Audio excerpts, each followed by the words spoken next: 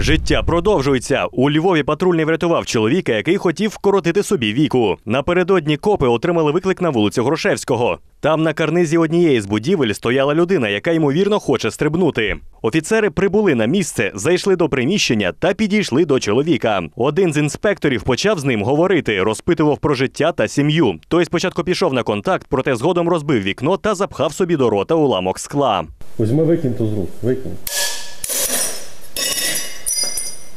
Ну не роби того, не роби. Чуєш? Викинь то з рук. Викинь то з рук. Там знизу багато людей.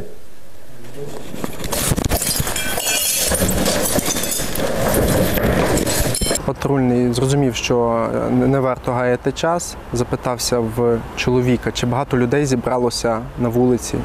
Е, І коли е, чоловік подивився вниз, патрульний скористався з моментом, підбіг до нього та витягнув е, з вікна. На місце події прибули лікарі, які госпіталізували чоловіка.